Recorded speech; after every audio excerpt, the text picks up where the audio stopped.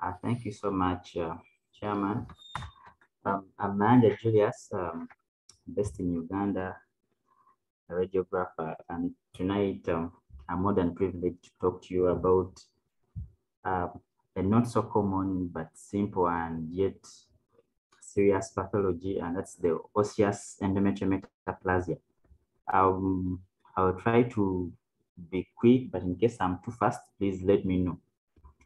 So uh, osseous endometrial metaplasia is the presence of mature or immature bone in the endometrium, and uh, it has been incorrectly called by others as endometrial ossification, ectopic intrauterine bone, and heterotropic intrauterine bone formation. And this is more, more commonly seen in women of reproductive age, though it has also been uh, reported in menopausal women, as we shall see later on in the, in the presentation. Uh, so uh, the process is uh, endogenous uh, most of the times, meaning it has an insidious onset. It's non-neoplastic, so it's not uh, any form of malignancy. And also important to notice that when you have this kind of pathology, the endometrium can show no more regular cyclical changes. And in more than 80% of the cases that show up with osseous metaplasia, there is always a history of uh, pregnancy, a previous pregnancy, or even a pregnancy loss. So uh, sometimes you can have hormonal or exogenous stimuli, and mostly seen in uh, people who use IUDs. And the, the, the IUDs can act as a, a factor that uh, stimulates metaplasia of the stromal cells of the endometrium.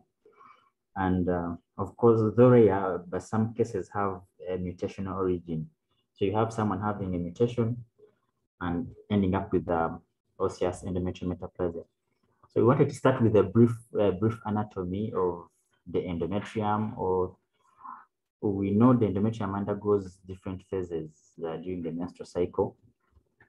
Uh, the very first phase uh, being the during the, the menstruation or the, the menstrual phase, where our, as we can see in this image, we see endometrium appearing as a thin echogenic line that um, uh, sometimes in this menstrual phase, you can see some, some little fluid or blood within the endometrium, just as you can see near the cervix in this image.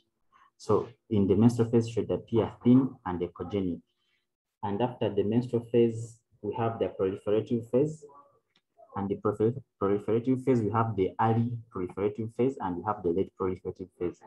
So in the proliferative phase or the so-called trilaminar phase, where we have the endometrium giving the trilaminar appearance, uh, in early proliferative, we have the three echogenic lines as you can see them. Uh, the middle line represents the apposition of the mucosal surfaces of the endometrium and uh, the outer lines, the echogenic lines represent the, the, the basalis of the endometrium. So the hypoechoic part in between represents the functioning or the functional endometrium. And as we progress from the early proliferative to the late proliferative phase, if I can get myself a pointer. Well, good. So as we pro progress to the late proliferative phase, we see the hypoechoic zone between those hypoechoic lines keeps on reducing. So uh, because the functional layer is increasing in, in, in, size, so that's why we see that hypoechoic layer reducing in size in the late proliferative phase. And the last phase of the menstruation, we have the secretory phase, we see that the whole endometrium is thickened almost uniformly uh, echogenic or hypoechoic, though sometimes it can be heterogeneous. And um, that's uh, in the menopausal uh, people before menopause. And in the postmenopausal phase, ideally, we don't have those cycles of the uh, cyclic changes in the endometrium. So what we normally have, we have a thin echogenic endometrium as shown in this image. And um, the cutoff values uh, for the endometrial thickness in, in postmenopausal women um, some literature that uh, I read, um, the book Diagnostic Ultrasound, it suggests a new cutoff value of 8 to 11 millimeters in case there is no PV bleeding. And the reason for this is to try to eliminate uh, unnecessary biopsies of benign conditions in the endometrium. But in case there is PV bleeding, then the cutoff value is between three to five with an average of four millimeters thickness of endometrium in the postmenopausal women as um, size to suggest possibility of malignance and thus warrant uh, biopsy. So um, going to the technique, uh, we always prefer transvaginal ultrasound over the transabdominal ultrasound. Of course, we all know the transvaginal has, because you have a higher frequency probe, and then there, there's less attenuation of sound because of the distance from the target and, and the probe is reduced. So we always favor transvaginal and of course, patients that are obese and overcome all those challenges. And those patients cannot fill their bladders. And um, when we are measuring the endometrium, important to note, you take the sagittal plane of the uterus and you measure at a plane that is perpendicular to the long axis of the endometrium at the thickest point. And you should include the anterior and the posterior layers. So this is an image of uh, endometrium in the trilaminar phase. We see our trilaminar appearance, that's proliferative phase. So we measure from the anterior portion of the endometrium to the posterior. You don't only measure the middle part. That's to get the full length. And in case you have fluid within the endometrium, you should exclude the measurements of the fluid. So you take the first portion anteriorly, you measure it, take the posterior portion, and then add them together to get the endometrial thickness. And just in case you're not able to see the entire endometrium, which can happen, say, in uh, patients who have fibroids or patients who are very obese and probably have not consented to a transvaginal scan, or because the uterus has um, a position, it could be retroflexed, retroverted, and you cannot pick your endometrium very well, it's advisable you do not report the thickness of endometrium since you've not seen the whole endometrium. You might see part of it. You report it is normal, yet pathology is in another part, focal pathology. So in such cases, those patients are referred, referred for saline, histo, saline hysterography uh, to get to delineate the whole endometrium and then try to measure it very well. Uh, so this osseous endometrial uh, metaplasia has uh, multiple theories that suggest how it comes about. There are theories, not yet concrete evidence, and there are many and controversial. Uh, the most accepted two include metaplasia in the healing tissue and uh, uh, dystrophic calcification within still uh, ovular tissue.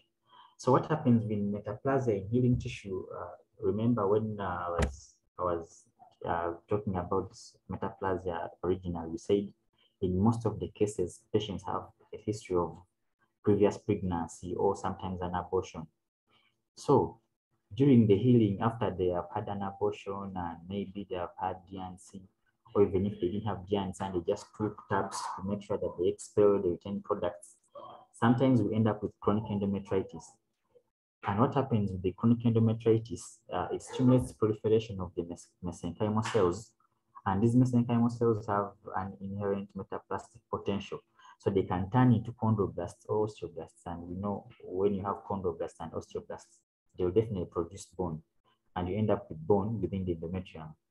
And another theory also postulates that the chronic endometritis causes release of superoxides, radicals, and tumor necrosis factor from inflammatory cells. When you go back to cells and tissues, you read about inflammation. When you have inflammatory reactions, you end up with the superoxide radicals and tumor necrosis factor being released by the by the cells, the inflammatory cells.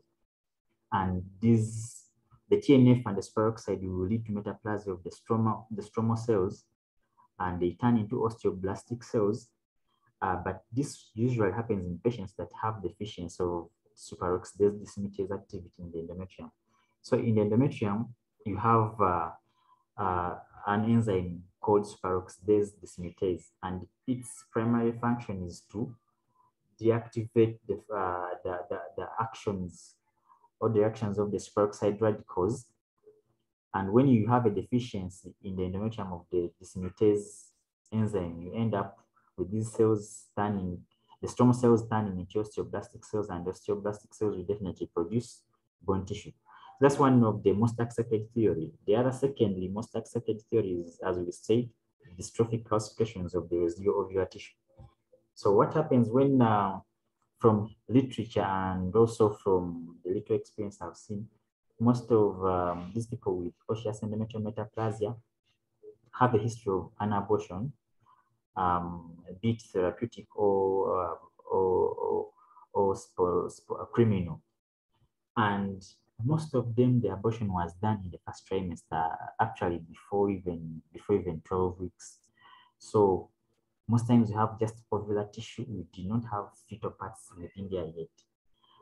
And uh, when we talk of dystrophic calcifications, I, I, want to believe we understand that what happens in dystrophic calcifications, you have in tissue that has uh, that has gotten damaged or that has died, and then you end up with deposition of calcium salts in the degenerated tissue. and important note in dystrophic calcification, there is no presence of systemic mineral imbalance.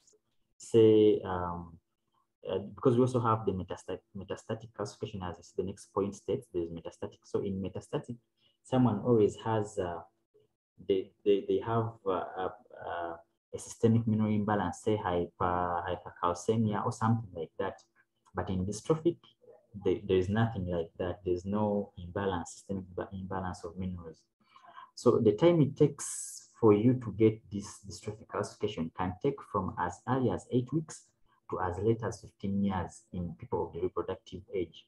So uh, in case someone comes and you see that, you can even text and they can say, oh, I had an abortion, say seven years back that would still count.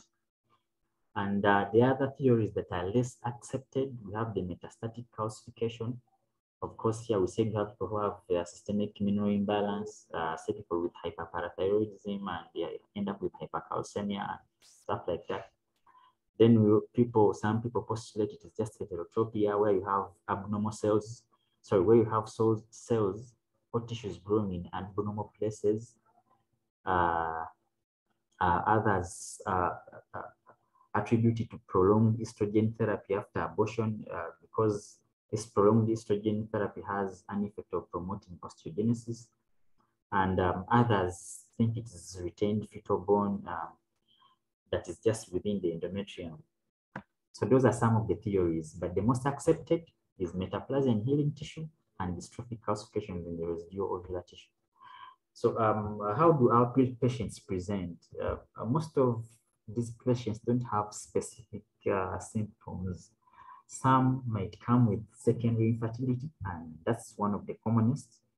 And when, as I said, when you take history, they had the first trimester either therapeutic or spontaneous abortion. And that's the commonest indication, secondary infertility. Everything else is fine. Some patients present with menstrual irregularities, same menorrhagia, they have uh, periods that last more than seven days or they have heavy flow. Uh, some patients are really completely asymptomatic. Probably they show up for different reasons, maybe just routine checkup or any other reason really, but not uh, concerned with the reproductive system and just pick out the pathology uh, incidentally. And even their cycles are very normal, even if they had an abortion before. some patients will present with pelvic pain, uh, others present with dyspareunia, that is uh, pain on having coitus, and some patients might present with uh, vaginal discharge. So the presentation really varies and it is not specific because for every of this clinical presentation, you have a myriad of pathologies that can present that way. So um, when you go in and do your scan, uh, what you see, you see uh, shadowing linear or irregular areas within the endometrium. And um, when you write your report, it's very important for you to describe the location of the uh, focus uh, or the foci, uh, the dimensions, that is the size, and then the number of foci. How many are you seeing? What is their location and um, what, what is their dimension or configuration? So why, why it is important to describe the location and the dimension and the numbers because as we shall see in this image, we see um, this linear hyperechoic focus within the endometrium that has been a posterior shadow. It is positioned in a, in a way as though it were an IUD. So that is how it will cause infertility. Someone will be as though they have an IUD position in their uterus. So this was my case. Um, it was of a female, a 24-year-old female. Actually, um, the image I had initially was different from this, but then today, coincidentally, I got uh, this patient that I got for this case came sometime back, like some six months back. So I took the image of the printout and then coincidentally, I got another patient who had the same pathology. So this image is not of this very case that I'm talking about, but because it was better, because I really, uh, really looked out for it, unlike the other one where I took an image of the printout of the patient. So, but uh, serves the same purpose, was the same pathology. So the patient was a 24-year-old female that uh, had secondary infertility and she had had an abortion four years ago and the abortion was um, uh, she didn't know the exact age, but she said it was around two months. That's when she aborted. And from then, she had been having her normal periods. She had no PV discharge, she had no lap. She was very fine. She actually moved on from the previous husband, got married to another man, and then this man now wanted um, a child. Uh, so when when we did the scan, there was that there was a linear echogenic focus in the endometrium that measured 13.1 millimeters in length. So a diagnosis of um, an endometrial osseous endometrial metaplasia was made and uh, the, the, the patient went and saw the doctor and the doctor decided to do D&C. And then immediately after the D&C, uh, we repeated the scan and then the endometrium was normal. The echogenic focus was normal. So the patient conceived so when the patient returned to my facility, they actually came to do a scan of their pregnancy to see how the baby was doing, but then they had the previous report that I got this information from. So, um, or uh, as we shall see later on, this method of management that was used, the D&C, is not the most ideal, it's not the recommended.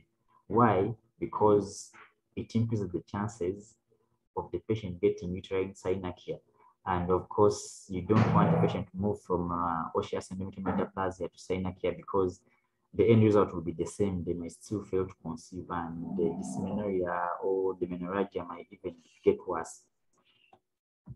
So um, uh, it's not the only appearance. There are quite um, a myriad of appearances depending on how many linear foci you have within. So these are just quite, these internet images I got from internet, just different appearances of how the osseous endometrium metaplasia could look. So you see the endometrium is appearing very echogenic. There is distal shadowing. Uh, you can see it's clear. It's not, it's not like an IUD. It's not a typical IUD. I remember uh, Mr. Kimfuembe one time gave us notes about how the IUD would uh, look like, the different, the Mirena and the copper IUD. So you see it's really different. And uh, this is another case. This wasn't my case. I put here, uh, it's from the internet. I, it just caught my eye. This was a postmenopausal 67 year old female who reported with lap and PV discharge, which was on and off for about three months, but she had no bleeding. And she had a history of two abortions with D&C that was done 34 years prior to this presentation. And when they did an ultrasound, there was a hydrometra and an echogenic focus within the endometrium. As you can see, we see this then focus with the hydrometra and the diagnosis of uh, D&C, sorry, uh, the diagnosis of osseous endometrial metaplasia was made. Of course, um, important to note also is that the ossification does not only uh, occur in the, in the endometrium, can occur in the cervix, can occur in the ovary, can occur in the vagina. And as I said before, it's important because the other states say in metastatic calcifications, hypercalcemia with hyperparathyroidism, can simulate uh, osseous endometrial metaplasia. And also you have to take the patient's history and know that this patient has not been using calcium or vitamin D for so long because this can also cause uh, metastatic calcifications in different places. And uh, you may not ask a patient, have you been on vitamin D for so long or something? They may not be maybe they may not be so technical enough, know that they have been taking calcium or something, but some questions you can ask.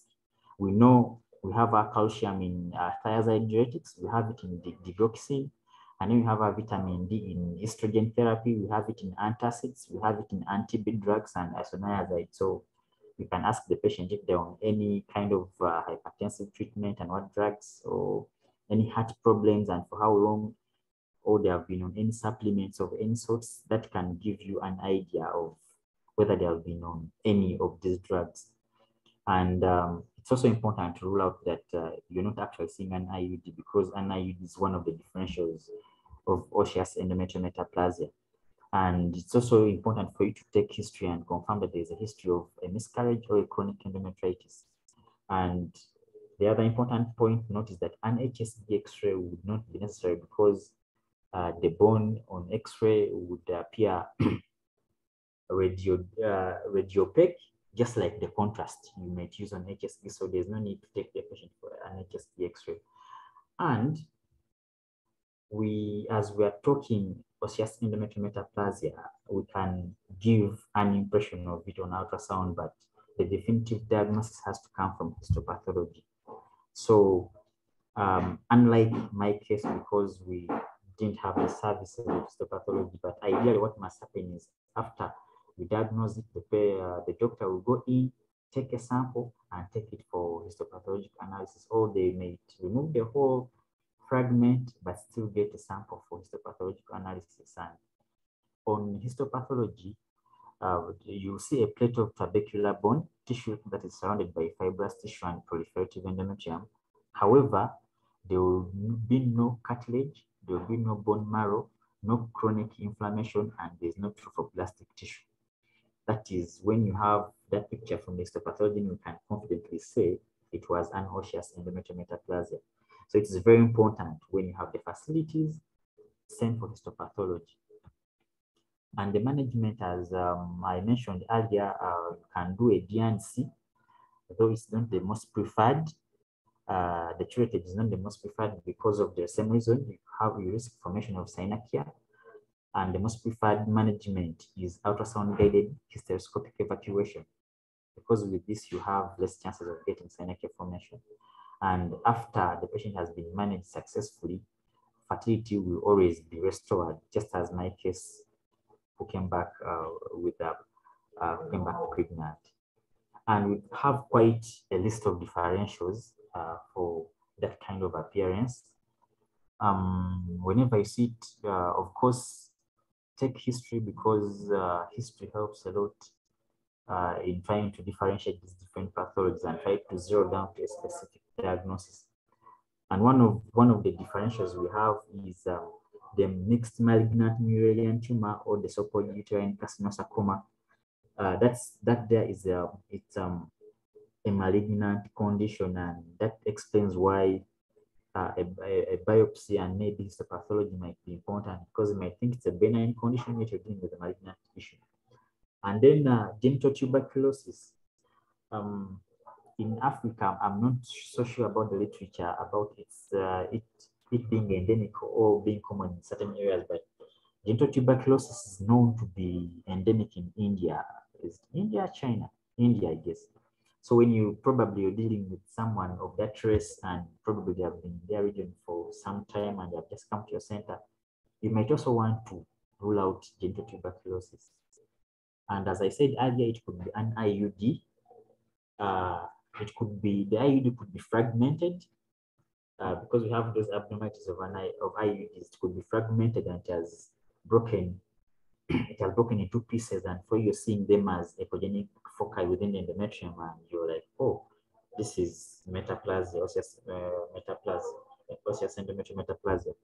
It could be an incrustation on only the IUD. We know in the copper in the copper type of IUD, we have the copper copper copper wire surrounding the stems of uh, of the IUD, and those that copper rod that's surrounding the IUD is actually releasing copper ions.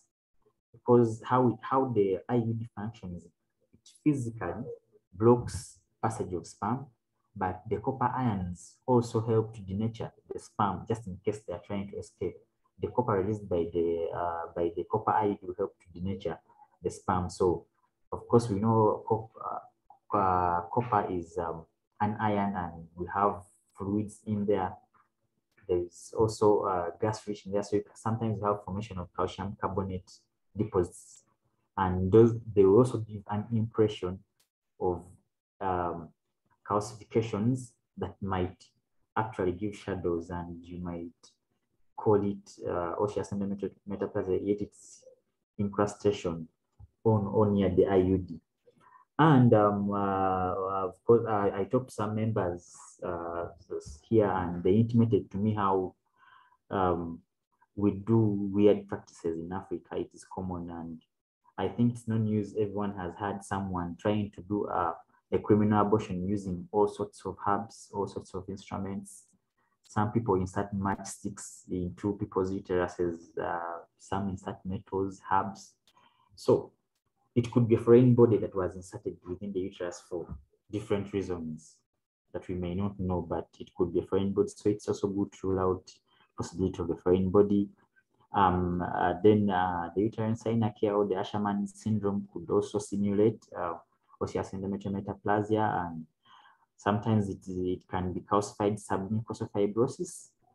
Uh, sometimes it can be endometrial gas. Uh, you know, gas, uh, good enough gas will give a dirty shadow unlike the clean shadow given by the osseous uh, endometrial metaplasia.